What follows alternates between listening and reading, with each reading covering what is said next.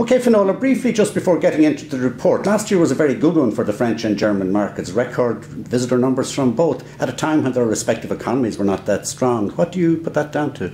Well, certainly we're very pleased with our, our performance, Eamon, uh, from the core European markets and Germany and France in there, both doing very well. In fact, Germany is up 35% in promotable visitor numbers over the last three years. France up 40% over the, the last three years.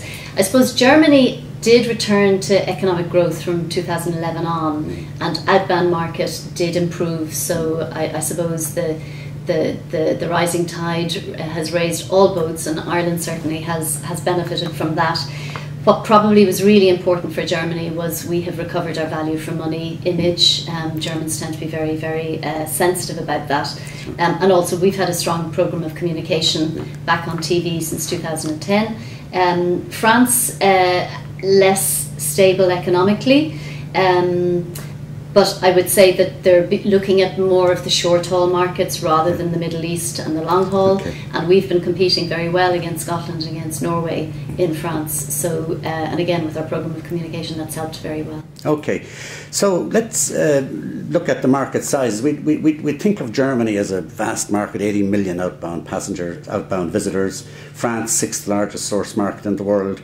But this report has greatly refined that down with a new approach to segmentation and a more accurate and relevant approach indeed to sizing each market. So, talk to us a little bit about that. Indeed, we, we put a, a working group together um, with uh, Fáilte Ireland, with uh, the Northern Ireland Tourist Board, with industry partners, with ITIC, of course, and ourselves and we reviewed all our learning um, from the last couple of years and then we also did some competitive benchmarking to see how we were, were performing and it showed us that our base was positive but that we needed to create more distinctiveness and stand out and we needed to resonate with specific types of, of consumers. So then we did we commissioned some segmentation work um, and also some motivation research. And so in Germany we learned that there's a, a core segment they're called the culturally curious um, they count for about 6 million um, of outbound travellers, um, and they're particularly motivated by uh, authentic stories of history and of the people. They love our landscape.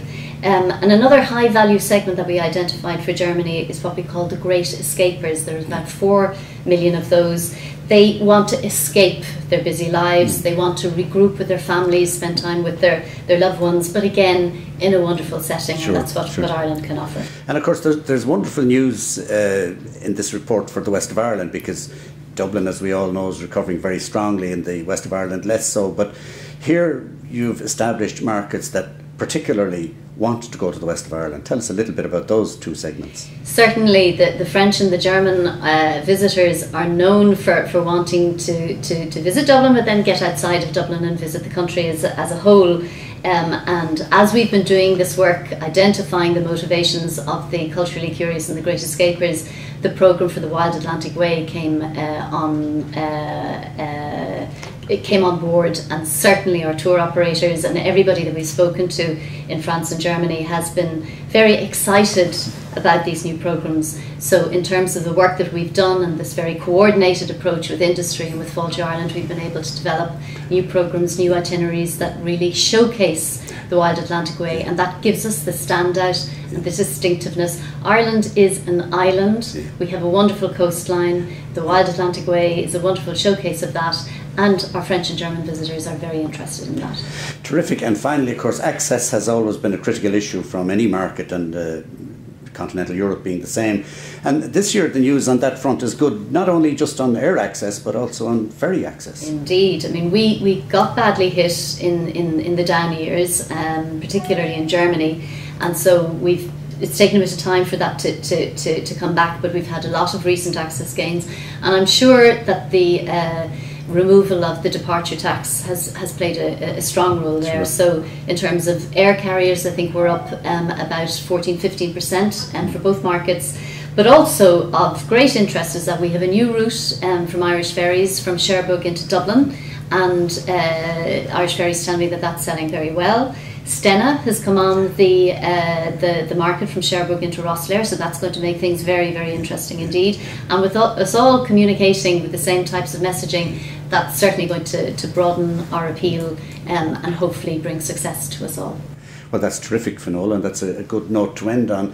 The second and sixth largest source markets in the world, continental Europe already producing the most holidaymakers and the most revenue for Irish tourism. So I think we can be confident about the future. I really hope so. And thank you, Eamon, for all of your support in terms of helping us make this happen.